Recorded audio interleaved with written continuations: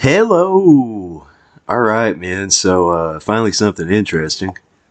Uh, now we all know that the Rock uh, biopic or biopic, however you say that, has been all the rage. You know, making movies about how uh, these guys did drugs in this year, and these guys drank alcohol in this year, and these guys, you know, took a shit in a hotel room, and you know, all that stuff's cool. It's part of the rock and roll mythology. But sometimes, man, you, you want to actually watch something intelligent, man, something about uh, an intelligent subject, at least. So, uh, good news, man.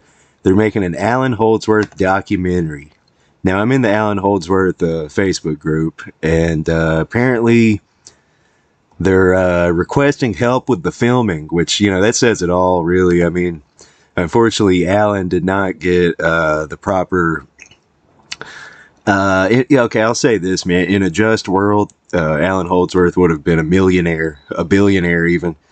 But uh, unfortunately, man, people are just too stupid, dude. They'd rather listen to like NOFX and Green Day and Arcade Fire and stuff like that. You know, they just can't handle uh, anything like beautiful or moving or complex.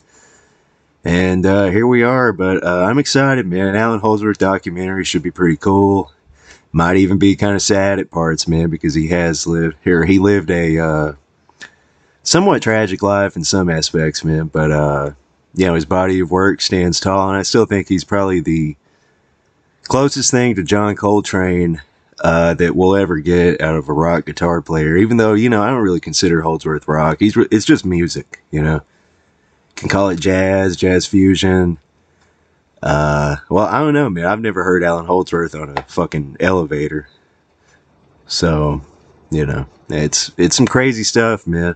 And you know, to any metalheads watching this, man, uh, you know, you can hear Holdsworth influence in everything from atheist to voivod to cynic. You know, his uh, influence extends far and wide. So quite excited for the documentary. It's gonna apparently they're gonna announce the release date in June, so we got something to look forward to. Uh, yeah, thank you.